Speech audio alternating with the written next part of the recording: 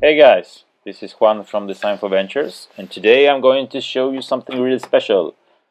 Welcome to the private alpha of our Sketch2React product. What is Sketch2React? Uh, it is a couple of things. Uh, if you go to sketch2react.io, uh, our website, then you can read about it. As you see in this awesome Giphy Giphy here, uh, you just, after you have applied our rules, uh, our framework rules, which is based on our own version of Atomic CSS.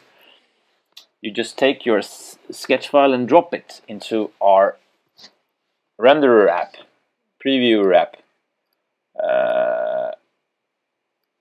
this is a sketch file that is locally stored on your computer. You drop it here. I can show you how it's done. This is the sketch file It looks like this in Sketch. You do stuff here, magic stuff. Uh, and you actually don't even need our plugin for doing this. Uh, you can just follow our naming conventions here. The plugin helps you uh, by creating all of these folders. Uh, and you can set up things like paddings and margins. You can also go in here and change everything later no this is like the strength of this um, when you are ready to try it out just drag drop your prototype and boom looks amazing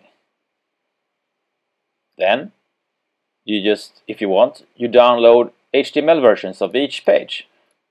Perhaps you want to share your prototype with uh, your client uh, or maybe you actually you can create very simple websites this way. We have a little demo here if you go to uh, this one here. Frequently asked questions um, you have it here simple demo this is actually 100% straight out of sketch so this we call it vanilla uh, and just taking Font Ninja here will show you something magical. We actually have rendering of Google Fonts here. So that is amazing, actually. Uh,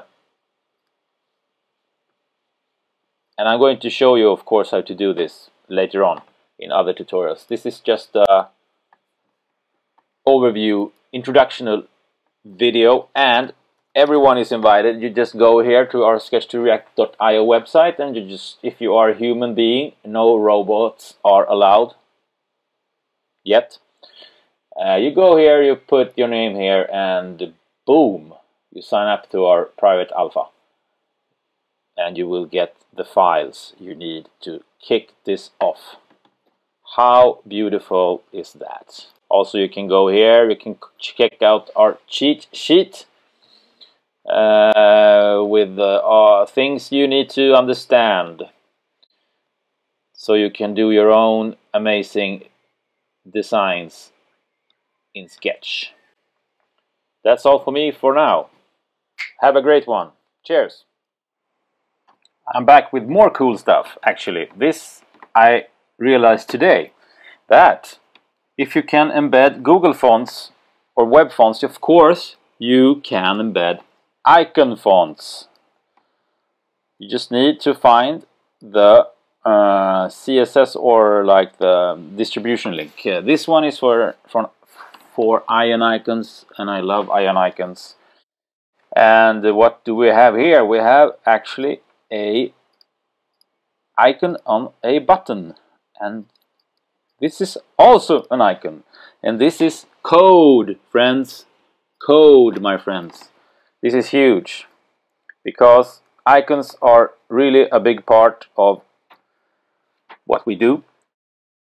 Uh, I use the excellent icon font plugin. And once you have it installed you get five really nice icon fonts. I really, as I said, I really like Ionicons. You choose the icons you need to rename them accordingly. What we need to do here for example you need to name this one uh, curly brackets text. This is dot span uh, so it flows the correct way.